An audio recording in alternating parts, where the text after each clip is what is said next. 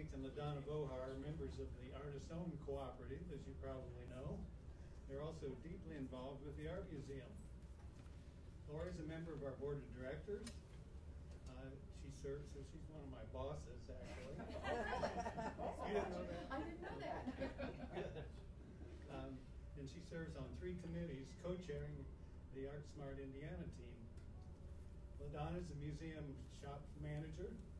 She coordinates the live model studio every Monday here, and she's also the producer for Friday Night Live events. Uh, Lorie's taught watercolor classes at the Art Museum for over 20 years, and LaDonna's her assistant instructor. So they're, they've done a lot of things here at the Art Museum. Lorie's taught, um, or both Lorie and LaDonna have the ability to create work in many mediums. LaDonna is a master of color, painting the human form and portraiture. She also creates fanciful furniture, murals, sculpture, and sculpture from found objects, clothing.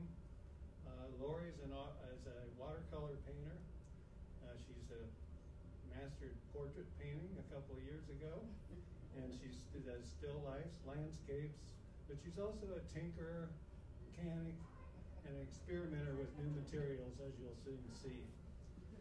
Uh, she tries a lot of new techniques. They, we have books in our gift shop with folded pages uh, that spell a word with pages spread out like that that are for sale. And those are the kind of things that uh, Lorie dreams up and puts together. Uh, these two artists have teamed up to create fascinating public works of art and whimsical sculptural objects for each of the museum's public art projects from 2003 all the way through 2015. The hogs, frogs, dogs, chairs, lions, tigers, and bears. Bison. How many, and, the, and I was going to say the bison, but how many of those do you think you created out of all of those? Because for each one of them, you did more than Oh, one. oh, yeah. Yeah, so many of them, and they work as a team. Uh, also, for the Indiana Bicentennial in 2016, they were commissioned to create a bison for State Senator Ron Alting. Uh, Alting uh, that celebrates really everything about the state of Indiana, and you have to look close at it to find a lot of the little clues uh, that have to do with the Hoosier State. And it sits proudly on the uh, lawn of the courthouse. Thanks to sponsorship by Linda Rohrman, the museum is exhibiting their work, The Unlimited Figure, Creating an Afterlife for Retail Mannequins. So please welcome Lorie Amick and LaDonna Vohar. Thank you, Kendall, saying all those nice things. And now, now we're gonna do some reruns. I should have cleared what we were gonna do with you. Um, so we'll start off with, see if my machine will work. Oh, I know it. Mine Oh, worked there we a go. while ago. There we go. Um, this is LaDonna.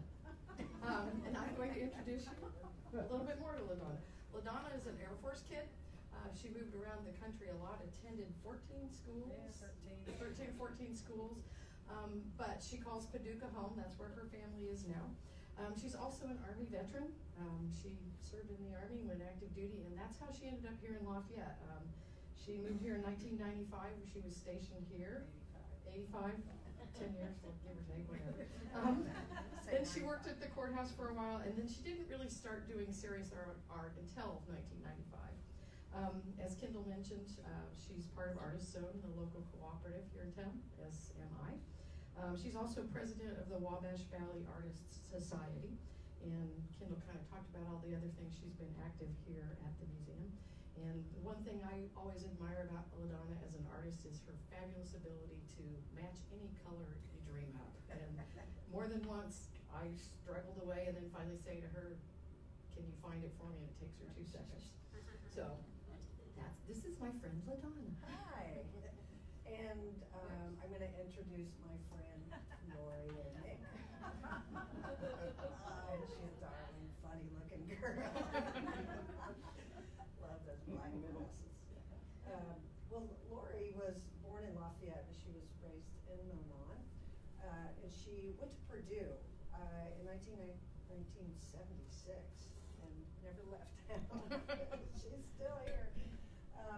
first life was, uh, she was a purchasing agent, um, buying metal fabrication machinery, and she loved it.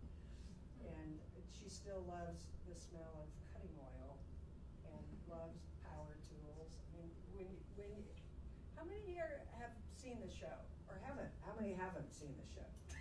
How many have? So there's a few of you that haven't even seen the show yet. Oh, this, this, this is exciting. Um, anyway, what I was gonna say was with the work upstairs, um, you'll see, uh, how there was a lot of power tool usage and a lot of engineering that my friend, thank goodness, uh, is so good at. And about nineteen ninety-four, she quit her job and became full-time artist. That's our Lorie. There, your turn. Um, so we've done a lot of collaborative work together, as Kendall mentioned, and so I thought we would give you just a few visuals to go. So, as he mentioned, the Hogs Frogs, um, the, both of those pieces were actually done kind of collaboratively with the whole group of artists Own, but especially Miss, um, what was her name? Miss Hogwild, yeah. That was primarily LaDonna, so, um, and, and I can't remember the frog's name. Um, anyway, he was Freddie, he was Freddie Prince. Oh, or. Not Freddie, Prince. anyway, Froggy Prince, Prince. Froggy Prince, yeah. This is Kevin. Kevin was one of our bears that we, we collaborated on, and, and you will see he's in our garage, in my garage, and you're gonna see a lot of my garage. Um, you'll notice there's very rarely a car in there.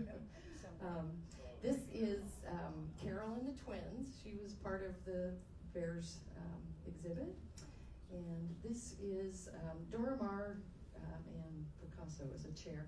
Um, this chair was part of the charity auction fundraiser, and the Hans purchased that, uh, Bob and Ellie Hans, so it's over at their, we got to visit it at Christmas during their holiday times, yes. Um, and, um, this, I'm gonna let LaDonna talk to you about this one. This piece was for La-Z-Boy Furniture as part of that chairs exhibit, and so. Well, this was, it was a fun challenge. Uh, the little boy is uh, that thick. He's made uh, with cloth, and I put a little stuffing in there and just painted the cloth. Uh, Yeah, I just love him. I think he's adorable. And Lori painted the tennis shoes down here in the front. There's a dripping popsicle there and a painted mitt, so we had a lot of fun doing that. And this is another piece from the chair show. Um, again, I can't remember. These are starting to be old enough. I can't remember the names of them. Um, and this, that one was mine. And this one is LaDonna's, the back of a chair. Um, and this was Barack Obama. That's our, uh, and we, I think it was Yes We K9. That was his. Yeah.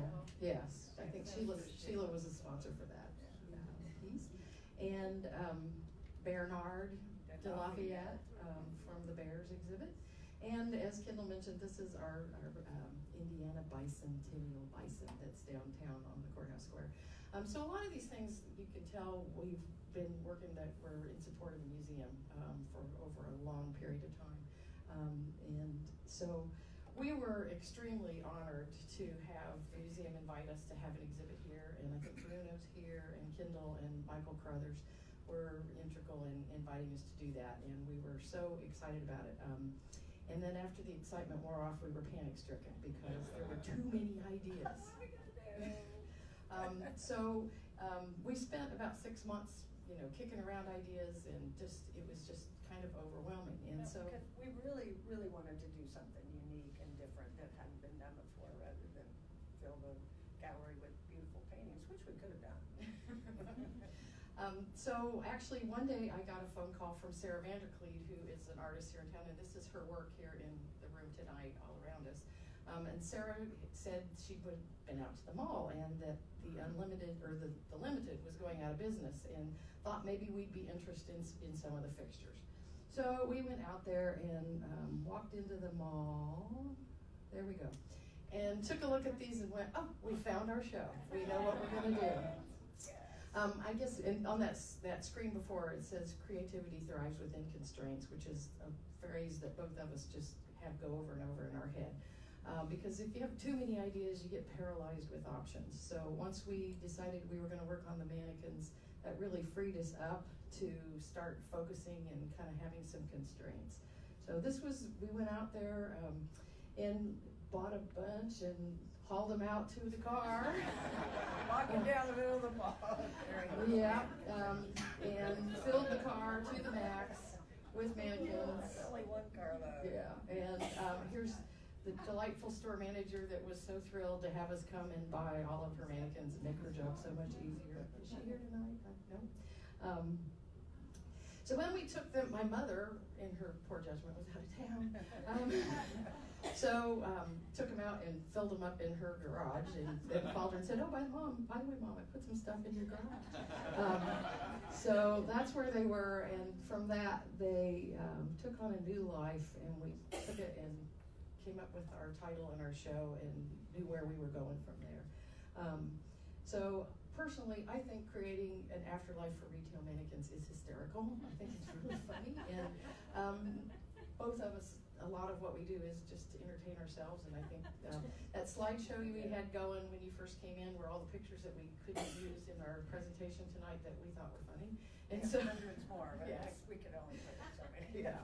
Um, so- wow. lots of lots we've had a lot of fun um, so when we talk about the show we're going to kind of break it down into three concepts if you will so process intention and composition um, and we're going to talk about some of the different pieces underneath each one of these umbrella top umbrella topics um, and so we will start with process um, a series of steps taken to achieve a particular end result. Um, one of the things that we really explored were lots of different processes. So we were cutting and sawing and gluing and, and just using all kinds of materials. Um, early on, we went to a workshop in Chicago at a company by the name of Reynolds Material, Reynolds Products, Reynolds Materials, um, and went up there and experimented with a lot of different materials that we did end up using. And um, it was a really good jumping off point for us. Um, and so the first piece we're really going to talk about is um, this this group of Antoinette, Phoebe Damaris, and Angelina, 47. Um, if you haven't been up to the exhibit, all of the pieces have a, have a woman's name. Um, back to constraints, we decided we were only going to stay with the female form. Um, primarily because that's what we had. Although along the way we talked about, well, well, should we pick up some some male forms? And decided no, we wouldn't, just because we'll stick with what we what we already have. Um, so these three pieces um, are the result of this single mannequin. So we had some full body mannequins, as you could tell from that exhibit, some partial mannequins, some mannequins that were fiberglass on the outside, some that had fabric covers on them. So this is a fiberglass mannequin. And um, we sat down and looked at her and decided, okay, let's cut her into three parts. Um, so that those lines there are where we began our cutting, and um, there we after we'd cut them up, we kind of made the, the lines more um, flowing and more contour to the to the form. Um, and this is Angelina 47. Um, the base of her, she's we filled her with plaster Paris so that she's weighted and has some some nice substance to the base of her. And um, she's LaDonna's creation. Um, and she early on came up with this beautiful blue. We talked about color. This blue is just stunning. And to do that graduated color from the bottom up. Um, this is done in oil paints over the top of the, the uh, fiberglass. And you want to talk about? Uh, That's it, that's why Lorie's doing it. Um, You don't have to hear me go, uh.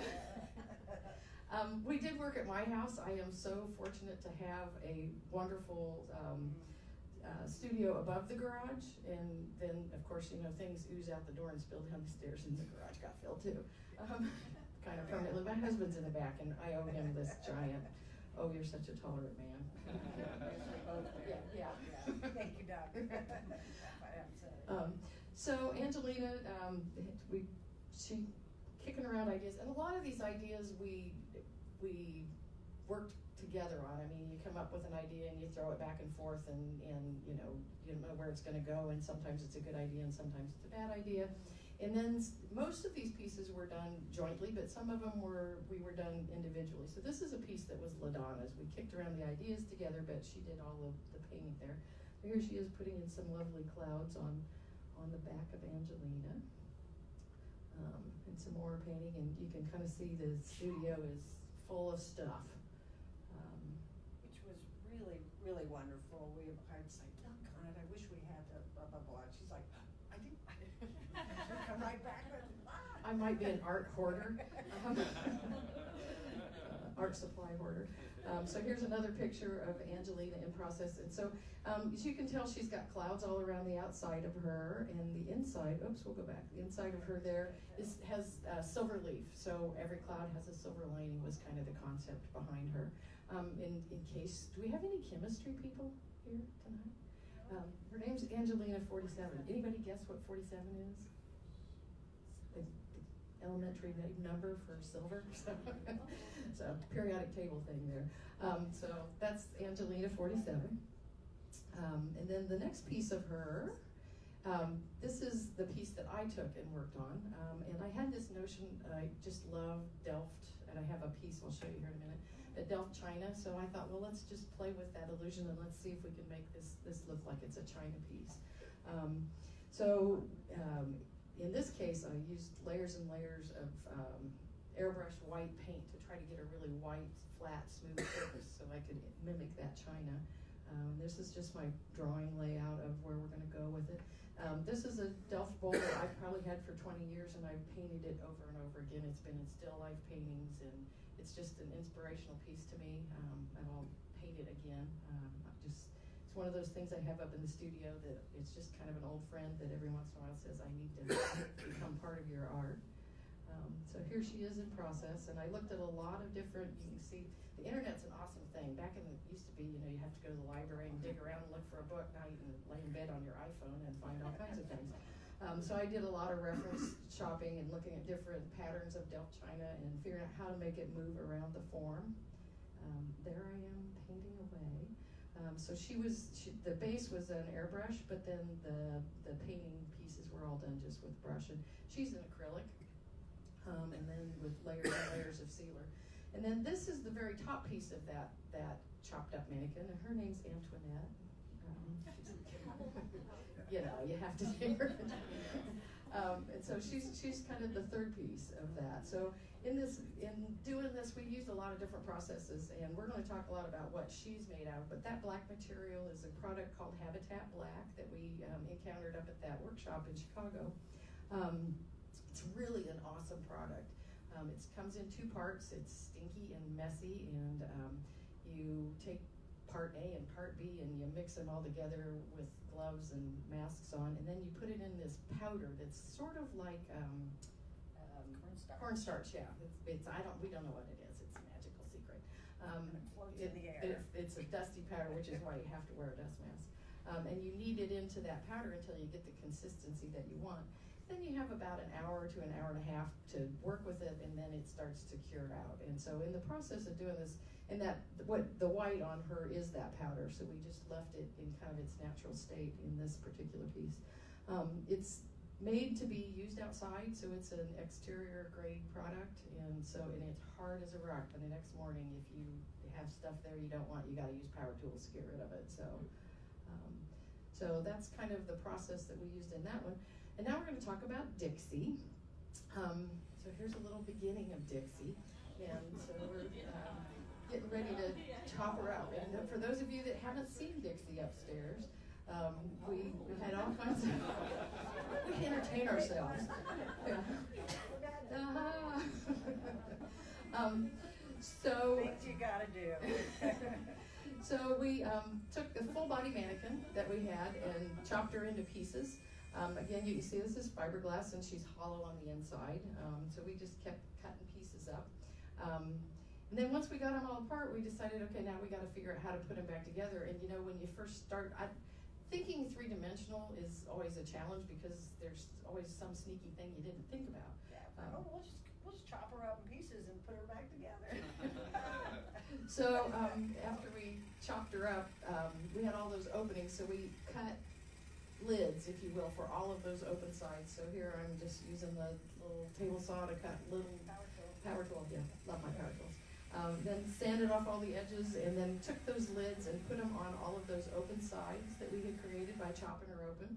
Um, and we used um, uh, fiberglass stuff that you would normally use on drywall to kind of put the edges around it and hold it down. And then we went over the whole thing with that Habitat Black to hold all those pieces together. So here she is after we've kind of made all of her lids and have them taped on and getting ready to um, um, start reassembling her. One of the things that, that we talked about, you'll notice the legs are different lengths and we had different chalk marks. So then when we started stacking the two sides back together, we had, she was taller on one side than the other. So just those kind of problems that you encounter as you're going along are always kind of interesting. So here are all of her body parts after we have covered them with the Habitat Black. Um, one of the things, all these mannequins had what we ended up calling alien heads. They didn't have any facial features on their heads. And so we really didn't like those, and so I have I have five alien heads in my garage. If anybody has any use for them, let me know. Um, so we we in Dixie's case we just chopped her head off and decided we didn't need it, um, which is always fun. So then afterwards, um, we've got all these pieces that are that are made and sealed, and so we want to reassemble them back together. Um, And thi- this is where uh, Lorie's engineering genius comes into play. Um, so we have all thread that goes all the way from the top to the bottom of her um, on the two sides that we had created. And then we have a second piece of all thread that doesn't isn't continuous because you couldn't take one line all the way down. She had too much of a bend in her knee, and so what I thought would be just oh yeah it'll take me a day I'll put her back together ended up taking like a week of trying to figure out how to get it to actually work. Um, so and and then as we put that all, all thread through, we put Habitat back on top of it, so it's not going anywhere. Um, so here she is when we're trying to attach the two sides to her, and you'll notice the drill bit down here on that drill. We ended up having to get this gigantic drill bit so that we could drill straight through one side to the other side of her, because otherwise you can't line it up. Um, so, and then putting the all thread through in the nuts, and it was a knuckle buster. It was a real challenge. Get her back together. And so here's the um, the habitat stuff. That's it comes in these big buckets, and you got this little bowl there with the powder in it. And you can see, I think that's LaDonna working with gloves there, putting. Um, after we drilled all the holes and put all the bolts in it, we had a lot of holes to to patch and fill with her. So now we had her all done, and we needed to figure out how to make her stand up. So um, we drew, put some hooks in the ceiling of the garage and got some straps and suspended her from You the didn't ceiling. know that, did you, Doug? Just do that before Doug gets home. um, so Dixie's hanging in the ceiling. Um, and, and we wanted to, to make sure that she's, she's designed to be, a, to live outdoors. So we wanted to put her into a base that would be stable enough to live outdoors. So I'd never mixed concrete before, neither had LaDonna, but you know, you gotta start somewhere. Um, so we're figuring out how far down we want that all thread to go into the base, and we got a form that is a concrete form, um, made a, a platform for it, and then we've got rebar all through that platform. There, we wired her into the rebar, and then we spent a day with mix, mixing uh, concrete and poured concrete all around that base and um, let it cure out. Um, you know, sometimes you over engineer things and there's all these different grades of concrete that you can buy, but you know, oh, well, I surely need the hardest stuff they make, right? well, uh, and, and then you buy it, we bought some dye stuff to put into it. Um, well, we didn't like the finish on it, and so when we Well, got just done. some of that off Yeah, of So this is, this is in high speed, cause I didn't wanna bore you too long, but we spent hours chiseling away on this concrete that was harder than the, harder than it needed to be.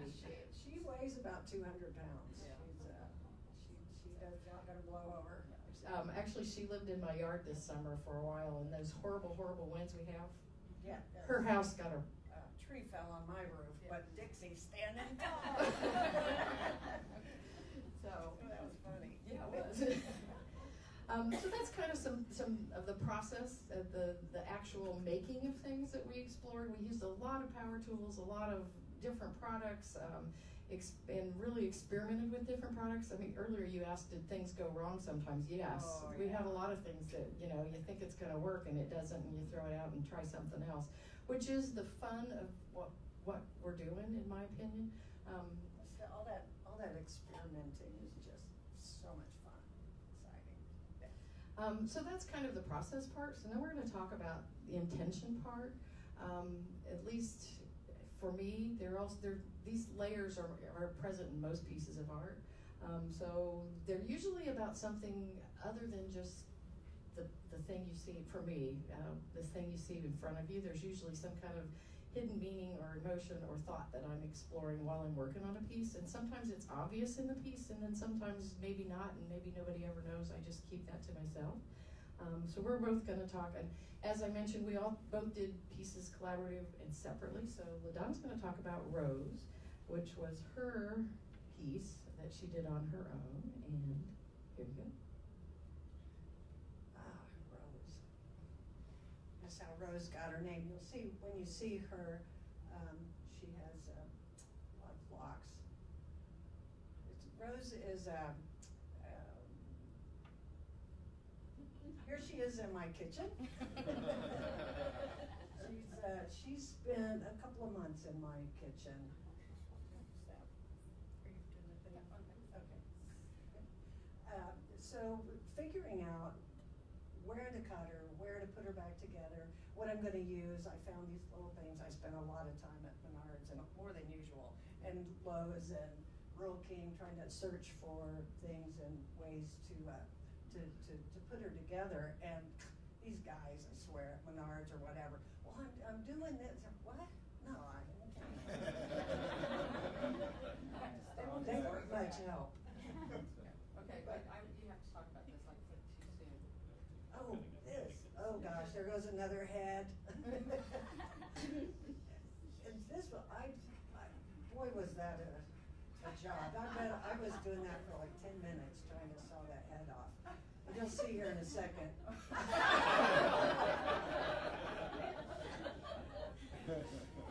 that was, that was a lot of work. Anyway, so there's her new head there on the table. Plastic.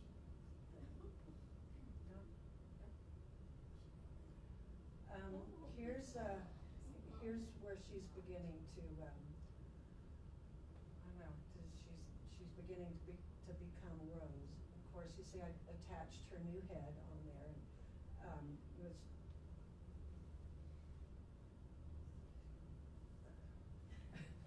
We talked Right. about this, Yeah, whether we or not did. she'd get through it, Yeah, she's it's- going to. Ro- Rose is, is a very special to me. And the chaos, this shows the, the chaos on the table and, and what I went through with Rose and, uh, my life. So, sometimes the chaos of creating is a reflection of internal chaos, which as I've, yeah, lots of, in- but Rose helped me get through that. She's, we've, we've got very close during this process, so.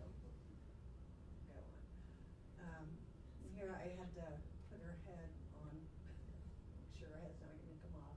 And the blue tape, I have the blue tape on the things that I didn't want, um, I didn't want paint on. I, uh, had to, uh, paint it her brown and then spray, uh, put salt on her, and then spray painted her red. So where the salt dries, it, um, it, it leaves the brown underneath, so it looks like rust. Do you see her tears? Um, and here she is on a table, there's her, uh, her right leg, I had a, a cylinder that, um, that I put on there, and I'd stand her up and her leg that cylinder went, so I had to figure out how to, uh, how to make that stop, so it, uh, it got welded on there, so it solved that problem. So Rose, when you, when you see Rose, if you haven't seen her yet, um, you'll see, you'll see what I mean. Um, she's a very emotional, um, piece for me, and I love her. I, she kind of glazed over the padlocks that are all around her. When you go out and see her, there's a ton of padlocks, and I think that um, that was kind of a serious reflection of at least where she was emotionally as she worked through that piece. Yeah, Um, I felt, felt like that I was, uh, my life was at a, um, like I couldn't go anywhere, I needed, couldn't get free, but there's one lock on there, it's half open. Um, so I'm gonna talk about the piece that's Cassandra, and Cassandra's my piece. Um, and she was the one I first thought of right away when we decided to do this show. Um, and talked about a lot of different materials, and so one of the things I've played with from time to time is, is enamel, which is, um, not the enamel paint, but it's called vitreous enamel, and so what it is, is you take glass and it's powdered, and you can apply it over the really clean copper and then take a torch and fire it and it fuses onto the surface of, of the enamel. And um, I like this product when it's look when it's not done well. Um, when you do it really well, it's used a lot in fine jewelry, jewelry. Um, but I like it when it's kind of burnt, and so that was kind of the concept I had early on. So um, I have copper, you just chop it up. In these cases here, I've taken it and I've cleaned it really, really well, um, and then powder it. The glass is in a powder form. I think I have. Um, in this case, I'm just spraying water on the top of it, and then I'll um, put the powder over it, and it'll just kind of dry in a crusty way over the top of, of the uh, copper. And yeah, hurry up, Lorie. Um, after that, then you take a torch and, and you um, just burn it. And that burning process I really love. I love the idea of just charring it and burning it. And so this is um, what I'm doing there is curing out the, the enamel. Um, like I said, I like it kind of rude and crude, and that's part of the concept I had. Um, so the thought behind her is she is again a personal journey for me, aside from everything else. Um, I kind of think of her in terms of sort of being a, a self-portrait. Um, so the, I took the mannequin and I painted it that, that deep red that to me looks like muscle in the interior, the tender part of who we are.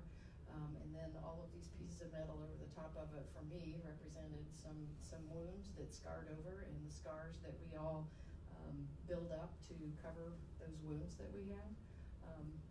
And so, as a kind of the cathartic part of this process is on each one of those pieces, I wrote down a wound um, and decided that it was time to let go of a lot of them because we all carry them. Um, and it's been really good for me because a couple of times I started to think about some of those injuries and went, wait a minute, I don't have to do that anymore because I gave it away. It's part of her.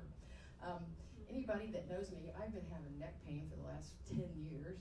So this was part of, this is the back of the mannequin, and so I've got all of these pieces that are woven, woven through there on her neck, which is actually kind of a reflection of some physical pain.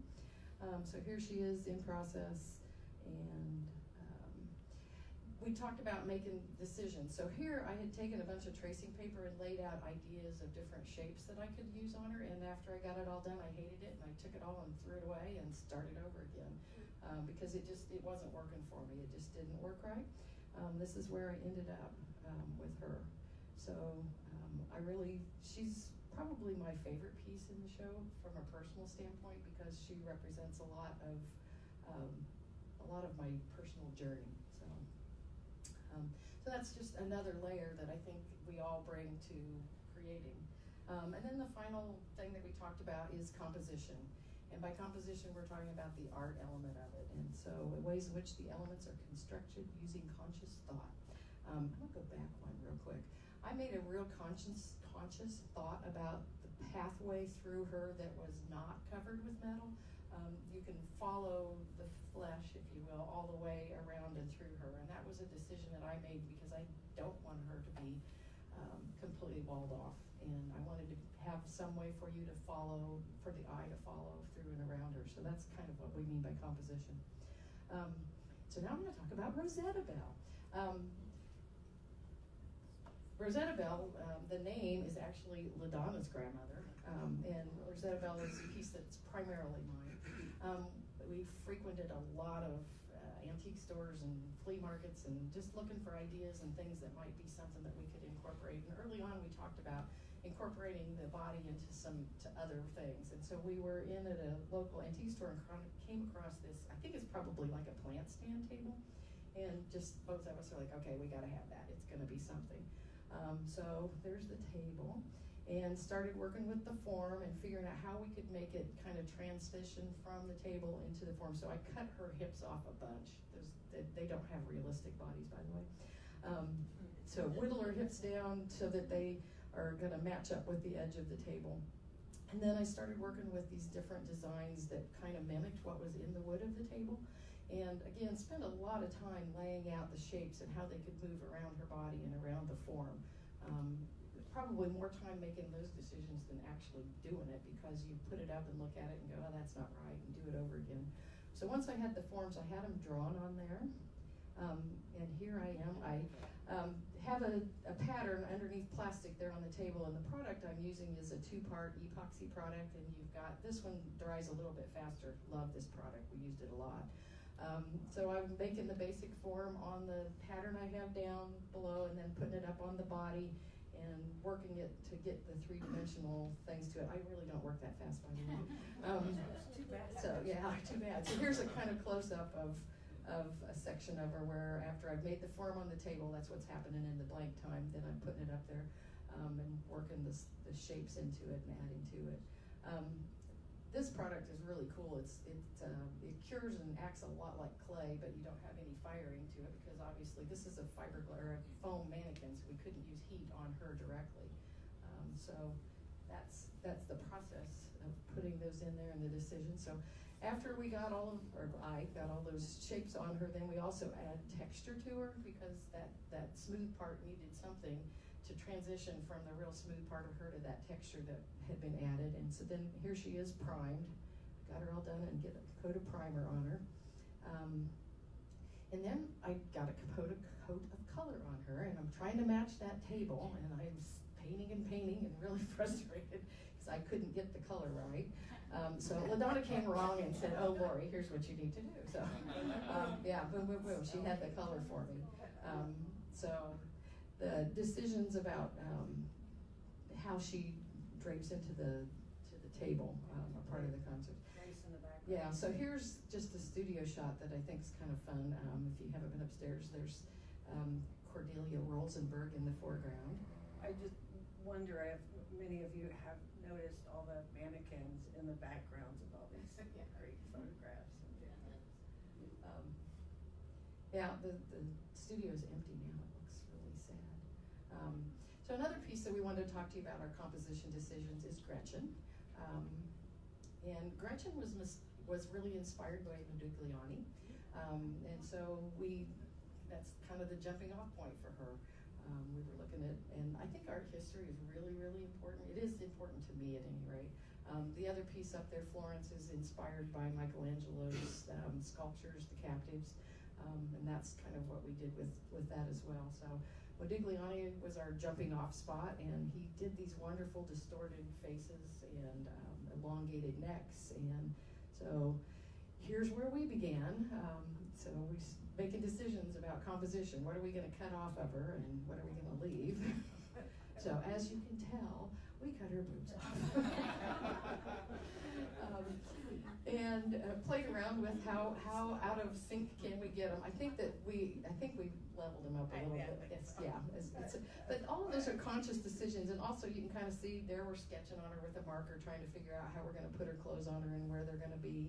Um, and here again, she did not have a head. That mannequin didn't have a head at all, and clearly we wanted a head. You can't have Modigliani without a head. So LaDonna um, glued up a bunch of um, foam, styrofoam. Actually, we found it in the neighbor's trash one day. Bring it home. Like I said, I'm kind of an art hoarder. Um, and yeah, we went through like four of those little wands that melt fiberglass or, or styrofoam. Um, and so she was sculpting kind of the rough sculpt that we used underneath the Oh, head. it smells. Yes, it does smell. Um, so here she is still working on that head, and now we've got kind of the rough sculpt of, of the underneath of what we're doing, and I, we've leveled out her boobs a little bit, and um, playing with the shapes on those shoulders that we, we were looking at. Um, those all of those figures had they were all symmetrical, and so one of the things we did with a lot of them is try to make them asymmetrical on their figures. So in her case, um, we cut the hip in on one side and then filled it and made it straight on the other side. Um, again, just playing with, with the shape and what happens with, with moving the form. You can see it better there, uh, filled in the one side. Um, and played around with um, just working on the shape, working on the form. Um, and I tried to find the video today. When we first put her head on, her neck was really long because we were we were we were going for it. Um, we ended up had to had to chop her head off and put it back on with a shorter neck. So I think that's what that green tape is. Is after she'd had the neckectomy. Um, so, um, and I did the, uh, this was a collaborative piece. We each took a thing. So LaDonna did all of that head sculpting, and the ponytail and braid in the back was something that I did. And so there's a, uh, styrofoam base underneath it, and then this is that, that product that I was also talking about with, with, um, Rosetta Bell, it's called Magic Sculpt, coolest stuff ever. But the white Um, is, uh, foam. Right, and the white is foam, and then down here, the, the gray part is where I've started to, to coat it with the, the sculpture stuff, and here it is in process. Um, And there she is again, we're starting to fill in the shoulders and those big foam balls and everything. And all along, we're making decisions about shape and form. Um, here, I had taken a photograph of this and um, took it and printed it out on the printer and started playing with, okay, where are we gonna put her clothes? How are we gonna do it? And we did a lot of that, taking photographs of the shapes and doing drawings on, on um, solving problems there and figuring out, okay, well, how's her strap gonna go around her, her body and that kind of thing. Here's LaDonna coating her with Magic Sculpt after we got the basic foam form down and her face is starting to take place or take shape. Um, adding in her eyes and her lips and the other pieces and um, getting that ponytail, yeah, getting that braid integrated into the, the form that we already have. Um, again, uh, from a kind of a mechanical point of view, getting that ponytail so that I knew it's not going to come off. So it's not just bound, uh, connected in her head, but it's also connected into her back in a number of places. But there's a little gap between the bottom of her hair and, her neck there that I wanted to have just that little spot that you can kind of have light come through. Um, so here's that bodice thing in process, and it's all made out of Magic Sculpt, and so we did it in sections. Um, put a bunch of it together and build it up. Um, and then um, she is actually, if any of you guys are do do it yourselfers, she's painted with chalk paint, um, which is a really cool product because it will stick to just about anything. Um, so uh, she's painted with chalk paint, and then afterwards we used a, a colored wax and kind of rubbed the wax into the texture that we had created on her to kind of reveal that texture. Um, so we've talked about process, intention, and composition. And so our last little piece we're going to talk about here is Miss Irene Jones. And um, just talk a little bit about all three of those things with her. Um, she's the only mannequin that didn't come from the Limited, and actually, LaDonna had a friend that she'd been living in his barn for a very long time. Um, so when we got her, she was in pretty sad shape. Um, she's missing an ear on the right side, uh, the top of her ear. Um, clearly, she's been beat up and abused a bit, and um, but she just had such a beautiful face, and she's the only mannequin that we got that actually had a face to start with. So um, LaDonna early on said, "I want to make her skin look real. I want her to look so real that you can't believe that it's paint." Um, so that was Almost got there. so um, the first thing we did with her was we painted her with a primer. And okay, we're off to the races. Well, a little bit of a problem. The primer wouldn't stick to her. Um, so after we had her all painted, uh, she got a bath. We put her in the bathtub, and I don't think we. You didn't put I didn't put that in there. Yeah, we got some rather hilarious pictures of LaDonna giving her a bath in the deep sink. Washing the white of her skin. Um, so, um, here LaDonna had worked on sculpting that ear and putting it back in. She used Magic Sculpt, that same product again, to, to replace that damaged ear that she had. And LaDonna's been in love with her. she just and admire her for hours, talk to her like her new best friend. Oh yeah, she did. She called her Chicky all the time. Come here, Chicky. Get this Chicky. Come here, Chicky. Um, so, um, and so this was before we figured out that primer wasn't gonna work, so she started putting some color on and it's just not working. Um, so, um, took that off, put a different color primer on her and started in with oil paint. And again, LaDonna wanted that sense of transparency that skin has and so she got this far on it with oil paint and it's not doing what she wanted it to do, just, it isn't Color, working. I wouldn't have left it shiny anyway, but. It just, she was not happy with the brush strokes that were coming through and so on. Um, and we're also, she also wasn't happy with her eyes. Those eyes are uh, really, really deep set and they don't have any lid. And so after she looked at her for quite a while, decided we're gonna change the eyes. Well, she's gonna change the eyes. So here she sculpted new eyelids onto the top of her so that she actually has a fold in that eyelid, um, which really did make a difference in the way she looked. Um, and then we went back and, or she went back and reprimed her. Um, we used a different kind of primer and, uh, she used a green tint to it, so all of that oil paint that you guys just saw, she painted the whole body, the arms, the legs, everything. Took it all off, um, well, covered it all up, because it just wasn't the, the look that she wanted. Um, I, I was just thinking, so she got, she'd get cleaned up, yeah. and she had a primer, that came off, had to have another primer, because we had to put paint on it, painted her with oil paint, that didn't work, so another primer on her, tinted, and so she decided that really the only way she's gonna get the effect that she wanted was with an airbrush. Um, so we built a little booth in the corner of my studio. and spent a lot of time in Yeah, it was a, and it was a tiny little booth. Uh, rigged it all up so that she didn't die from fumes and, and, um, so this is after layers and layers and layers of color. Cause the thing with the airbrush is you go really, really slow and it allows you to build up that feeling of transparent skin. especially when you've never used an airbrush before in your life. But nothing else worked, and I, I have to teach myself how to use an airbrush, that's the only way I'm gonna get that effect, so. There was lots of swearing.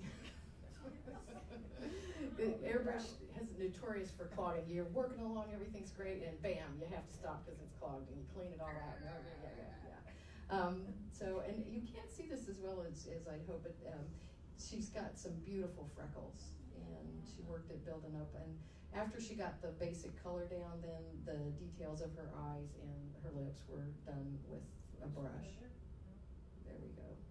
Getting her, and there were eyebrow debates. Oh, we had so much eyebrow debates. Um, cause I thought her eyebrows were fine. She didn't like them. She kept wanting to redo them. So this was early on in the eyebrow process and there they are coming along. Um, Uh, so um, that that was LaDonna's contribution to Miss Irene Jones, and so my contribution was um, paper sculpture. I love paper. My watercolor roots kind of take me back to paper, and I just love the idea of the paper becoming part of the art is part of what fascinates me. So I decided to make her paper paper shoes, paper um, hair. So this is the beginning of, of building up layers of paper to get that shoe made. And here I am with uh, lots of clamps and glue. Um, her shoes are just paper and glue. That's all that's that's in them. Um, and I got so far along, and I was so proud of myself. And then I realized I made two left feet. so we have three shoes. Anybody, you know, that Cinderella story? There you go. Um, so I, the, the, yeah, that'll happen. Oh, that was funny, It- it rolled on the floor. She thought it was funny. I mean, um, Because it's something that I would do, and, uh, you know, it's nice to see when other people. It wasn't like I already put them on, I was like, what? um, so then the other thing then was, this is not a, Real I didn't, person, yeah, it's not a real person, it's a mannequin, but it, it also kind of cracks me up. Um, so I needed to make a base to build the wig on top of her head, and so LaDonna had already gotten paint on her, so we covered her all up with the baggie, cause I didn't wanna get any paper mache onto her fabulous paint. Um, and so I built a paper mache cap, basically, on the top of the mannequin, um, that would be my base for her wig. And, um, So wrong. yes, it is really wrong. Um, and our original, my original inspiration, you can see that, that photograph down there, was kind of a forties looking hairdo, I, they call them victory rolls, I think. So started off with just layers of paint or of paper that I'd cut into slices and building them up and building them up. Cool thing about paper is curling irons work on it really well. So I curled, go ahead. Uh, oh, no, I was, when you get down there with Okay. um, so just working on her hairstyle and, uh, color, cover, bleh. Trying to, trying to get that look that I wanted for that victory roll. There's me working on her hair. Um, If they wonder why she's sitting on a chair. Uh-oh. Or the way she's on that chair. Yeah, she's, so we only had the top part of her body here and it was very top heavy, so we have her, had her duct taped to a chair for probably six months. Um, Yeah, yeah, it was, many layers of probably wrong in some worlds. Um, anyway, uh, so I'm still working on styling her hair and trying to get that hair to do what I wanted it to do. And these are just strips and strips of paper that I've glued on and working on. So I finally got to this point and hated it, absolutely hated it. So the night before the show opened, I spent all night made new hair for her. Um, so this is not in the show, this is, this is in the trash, literally. The hair. Um, the hair, yeah. And so, um, this is kind of where we're gonna go. Um, so now we can all go upstairs and you can see how the hair actually ended up, because it was not that. Um, so, um, let's see, we got about half an hour, um, do we have, does anybody have any questions here before we go upstairs? And then we thought we'd go upstairs and, and meet around Miss Irene Jones and then we could ask questions or whatever. Yeah, Bruno? How long did it take you to do all? Well, we started with concept when you guys asked us was two years ago. Um, and we bought the mannequins, eh, it's getting close to, yeah, like eighteen months ago, I guess. It was still cold. Um, it was probably in March. Um, so almost two years ago, I guess, that we bought the mannequins. Um, so, and then we, we're both really bad procrastinators. so we, we work on it a little bit, but then we've also got other projects we're working on. We go off and chase a different squirrel. Um, so it's super, super intense. Probably the last seven months, it's been really intense. Um, and my sweet husband has had two wives for most of that time because LaDonna would just bring her clothes and come over and we'd work until 11 o'clock at night, go to bed, get up in the morning, start again. Yeah, Um, Lucky dog, I'd say. Um, Don't ask him. he did say more than once, I feel I have two wives. Um, but um, the other thing about working collaboratively it, that I think is really good for both of us is that it's when she's there, I stay on task much better, and I know it's true with her too. Um, when I'm home alone, it's like, oh, I'll go do the laundry, and I wouldn't go do that while she was there. So that last seven months, we really got a lot of work done, and we worked a lot of long, long days. Um, we'd start out every morning with kind of a, a powwow, sitting and drinking coffee and, and doing a list of, okay, what are our goals today? What are we going to try to accomplish? You know, which piece are we going to work on? And we're pretty structured about it during that last seven months, which is it worked. yeah, we never got as much done as we thought we would, but um, it was that's pretty disciplined for me. I don't usually stay that disciplined. So yeah. Uh, it's so very interesting. Have you considered, um, contacting, I don't know, making a podcast or something of it? Because I think it would really go, uh, you know, through whatever, um, We've- media there is there. We've talked about a of different things, and one of the things you guys just saw a tiny bit of what the having a, a video camera and a phone.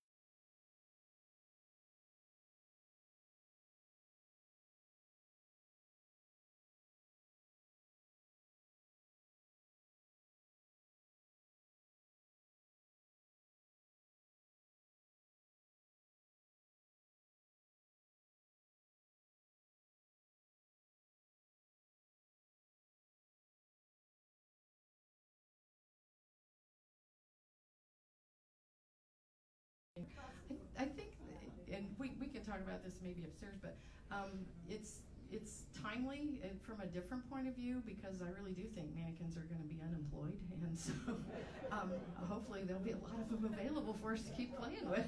So, um, any So, other? so what, what is next, or is it too early? It's too early. we have a couple. Congrats. Yeah, we have a couple of projects that we have to, to we committed to that we have to fin- that actually will make us money. So you know, yeah, they're not fun jobs; they're jobs. Um, but you know, it might have some money come in instead of going out. You know that, Dan. yeah. Um, yeah, okay. Um, Kendall did mention the um, Hans, as we mentioned, they have one piece that we worked on collaborative that we they purchased from the charity event. Um, they were here um, night before the opening, and we're so excited. They purchased four pieces from the show. Um, the Dixie that we talked about, the cut up piece, is going to be in their garden, um, their sculpture garden, and then Grace, which we can see upstairs.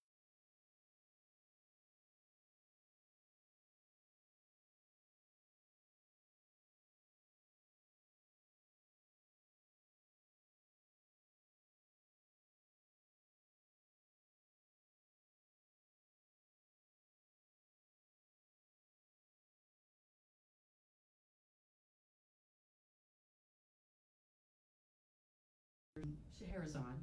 And when we go upstairs, Scheherazade is the lovely dragon shoe. And we didn't talk about that. When we made Dixie, um, we cut her feet off.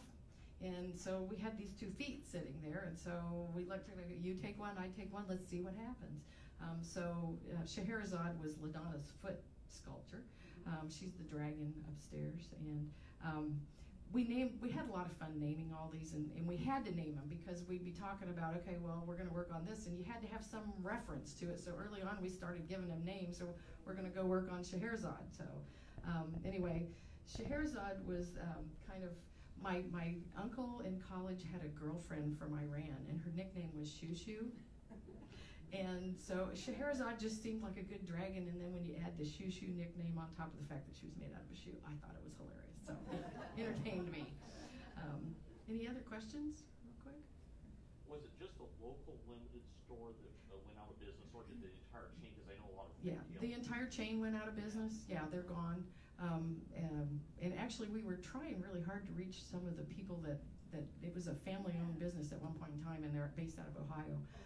We thought they might be interested in coming over and seeing it, so we'll keep working on that. We got till March the third to get them here, so. Um, but yeah, they, they all went out of business. Um, we just got mannequins from the local store though, so. Any other questions? Um, so at this point, um, we're gonna go upstairs and, and meet around Miss Irene Jones, and if anybody needs to go, feel free to go. You don't have to come upstairs, but we can come upstairs and talk about a few pieces there. Um, and I wanna thank you all so much for coming and for supporting the museum, and, um, anything else,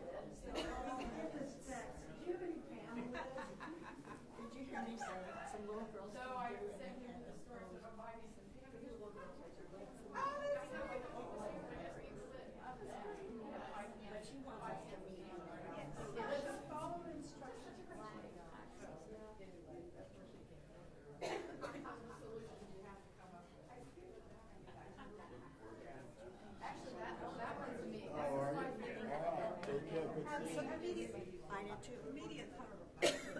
Yeah, well, and it's a color that I, I like. Um, this, back, this piece, um, this piece is named Lolly, which is my grandma name. Um, and this piece of lace. grandmother was an artist too. Yes, she was. Yes, she was. Uh, that piece of lace is, uh, probably a hundred years old. A friend of mine was leaving town, she had all this lace and she didn't know what to do with it, probably twenty years ago. She gave me this box of lace and so we were kicking around ideas, I'm like, let's go get the box of lace out. So that piece, and then over there, the other piece on the wall, um, what's her name? Gladys. Um, a piece named Gladys also has some of the lace. And Gladys named herself because when we opened up the box of lace, there were little straight pins with notes on them, and the first note that came out said Gladys. So it's like, oh, well, there you go. So, um, so she got her name from the lace. Um, the other thing too that we, I didn't talk about downstairs at all, but aside from the individual pieces, we really wanted to create a certain kind of look here in the gallery. And a lot of our pieces are white, and realizing the walls in here are white, so we decided to pick up this blue color. Um, and so the, the pieces behind, the two wall pieces, and then the piece behind Florence, the big sculpture, uh, we just wanted some blue to make that pop here in the gallery. So we weren't just thinking about the pieces of art, but also the presentation. Um, Florence, my stepdad made that platform for Florence so that she could be elevated the way we wanted her to be and have her be on a blue field. So. Oh, well, we got now. Um, any other questions up here while we're, we talk about other pieces? Um, there was a, there was a battle the night. I know, I know. Um, so mom ended up with the piece around the corner and, and, um, Carolyn. Carolyn Percival ended up with Oxidido. Um, you want to talk about Oxidido for a second? She's this piece here. Um, so, and this is Scheherazade. So, Scheherazade. Um, she was talking about oxidido here that, um, I, I, I, guess I didn't notice till later, but I had this thing about rust. I Yes. for this, rust, oxidido. So this was just fiber. Uh, and we, um, we found this other amazing product called, it was a fiber hardener. stiffener, Yeah, yeah. stiffener, hardener, something. Anyway, so this is the interfacing I cut up in strips and put it in this hardener and laid it over one of the mannequins that we used as a mold. And lacing it through there and then as it got hard, well, that stuff didn't work all that great. so we had to, Had to reinforce yeah, it. we had to reinforce it. But anyway, so I, I painted it to look like rust. And, and how did you paint it to look like rust? Was it airbrushed? Was it? No, this was, um, um, uh. plaid but- product. That- paint. was some kind of a chemical thing. You paint on iron, Yeah. and then there's a solution to put on that uh, that oxidizes. Really makes it. So So it is is this, really a- rough. is this an art material product? Yes. An automotive product? It's an art product. Yeah. Plaid, I think plaid paints are who makes it. It comes in a kit, so you've got all of the components. There were two different things. One of them is. So the wood is, the wood is the s- structure on the sides and the back? Th- This, Supporting it? Yes, yeah, that's wood, Okay. yeah. yeah, it's wood. That's We what had you to, have to do after because yes. Yep. great. Yeah. Um, this is Grace, and Grace is one of the pieces that'll be over at Hans, and, um, she's, she's got a lot of product. Oh, my gosh. Hilarious. Um, we knew, again, we kind of knew early on what we were going for, and we had an idea, and this mannequin had been living in LaDonna's house for a year, and she had this